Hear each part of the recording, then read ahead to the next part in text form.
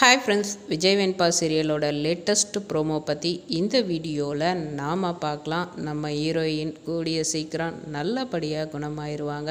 நம்ம வெண்பா பாப்பாவோட மனசுக்கும் அவங்க பே ப்ரேயருக்கும் கண்டிப்பாக கடவுள் செவிசாச்சு நம்ம ஹீரோயினை அதாவது வெண்பாவோட அம்மாவை வெண்பாவுக்கு திருப்பி கொடுத்துருவாங்க. நீங்கள் நினச்சிங்கன்னா நம்ம வீடியோக்கு ஒரு லைக் பண்ணிக்கோங்க. ஸோ இப்பொழுதைக்கு சொல்லணும்னா சீரியலில் ரொம்ப வந்து எமோஷ்னலாக போயிட்டுருக்கு.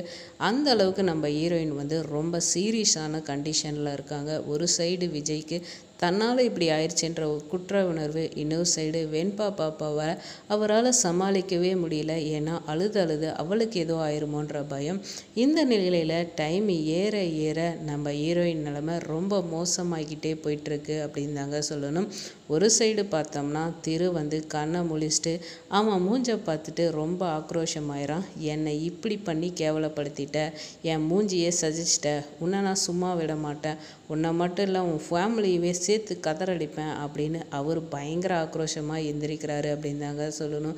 இதே நாடா வம்பா போச்சு அப்படின்ற நிலையில தான் இவன் வேற தொலை தாங்க முடியாதா? கண்டிப்பாக சும்மாவே ஆடுவான். இதில் வேற இப்படி வேற பண்ணியாச்சுன்னா இன்னும் வந்து பிரச்சனையை தான் பண்ணுவான் அப்படின்றது தெரிஞ்ச விஷயந்தான் இங்கே வந்து பார்த்தா டாக்டர் வந்து இந்த மருந்து எவ்வளோ சீக்கிரம் நம்ம கைக்கு கிடைக்குதோ அவ்வளோ சீக்கிரம் நம்ம சேவ் பண்ண முடியும். ஸோ அது உங்கள் கையில் தான் இருக்குது அப்படின்ற நிலையில் ஒன்று நம்ம விஜய் வந்து அவங்களோட மாமா நான் போய் நான் கேர் பண்ணிக்கிறேன்.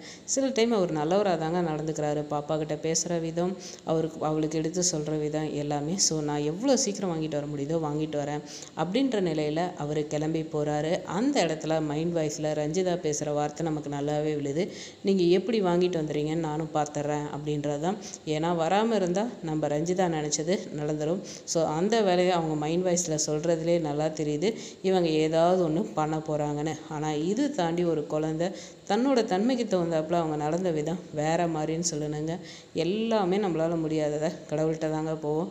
கடவுளால் தான் எல்லாம் பண்ண முடியும். அப்படின்ற நிலை அந்த குழந்தை புரிஞ்சுக்கிட்டு சாமிக்கிட்ட போயிட்டு இங்கே பாரு முருகா அதுக்கு தெரிஞ்ச இதில் அம்மா உடம்புல பாய்சனு அந்த பாய்சனை நீ எடுத்துரு முருகா எங்கள் அம்மாவை எனக்கு காப்பாற்றி கொடு அப்படின்றாங்க.